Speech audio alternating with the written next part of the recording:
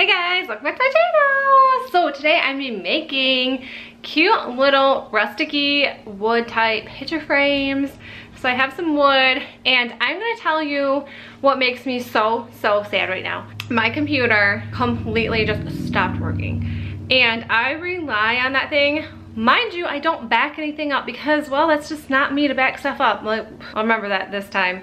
So anyways, this video, I've already done this video, but I planned on making more of these anyways.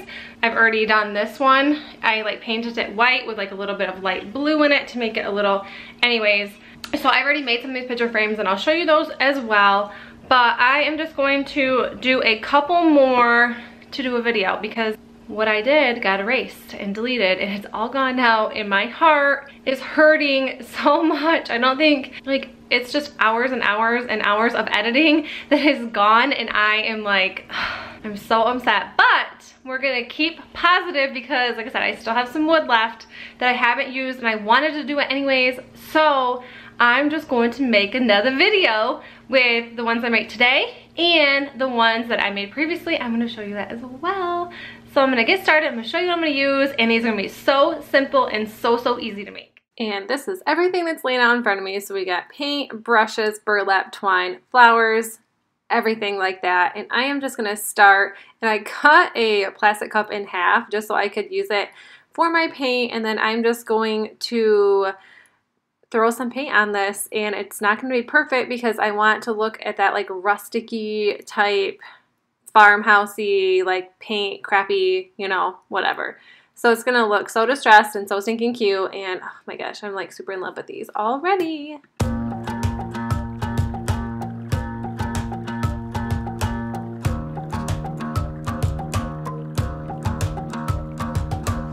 And I did not forget any of the sides of these because with my firework video, I totally forgot one of them, but out of 20, I didn't think that was so bad. But this is so easy and the paint dries so fast, so it's so quick and easy to do this DIY.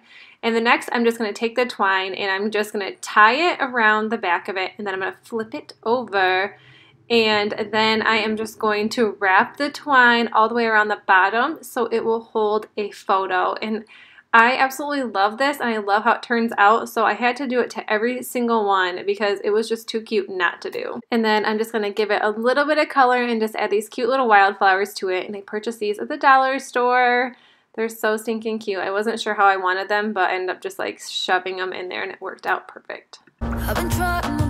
And then this little piece of wood was really, really tiny, but I decided to use just a little, oh my gosh, what is it called? Clothespin. And I just painted it white, and then I just glued that on there and then added some twine. For a while, trying to please everyone who's around me. I've been putting on my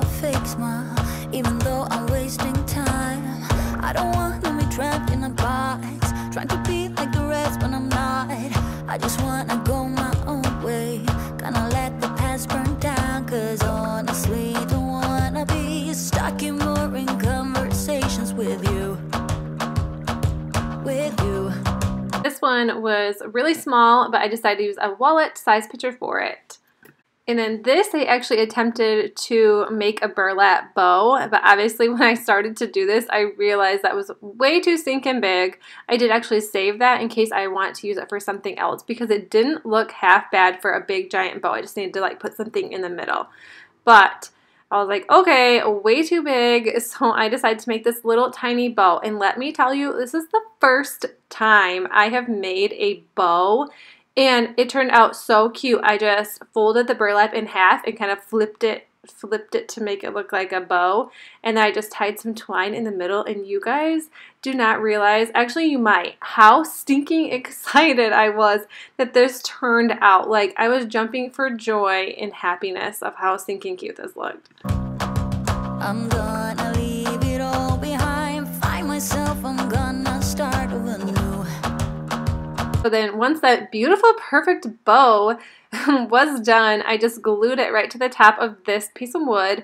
And then I took my twine once again and I just tied it to the back and then I just wrapped it around a few times at the bottom It actually ran out of twine so I didn't have as much as I did with the other ones but it still looked stinking cute.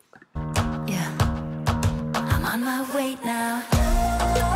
And here is what they look like when they are all done. I'm so happy. I absolutely love these. I think they are so cute and so easy to make.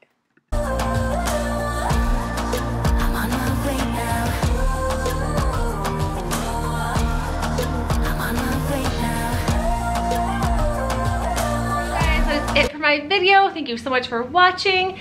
And this is so simple and so quick and so easy and so, so inexpensive to do. Like the wood is free and all they have to do is buy some twine flowers, maybe a little bit of burlap. So it costs like $4 to make all these frames. So how freaking incredible and how exciting. And I think they turned out so stinking cute and this is probably like my favorite DIY I've ever done in my whole entire life. But okay, that is it. If you like videos like this, make sure you give it a big old thumbs up. And if you're new to my channel, I would love you subscribe. I make videos every Monday, Wednesday, and Friday. And I'll see you in the next video. Bye!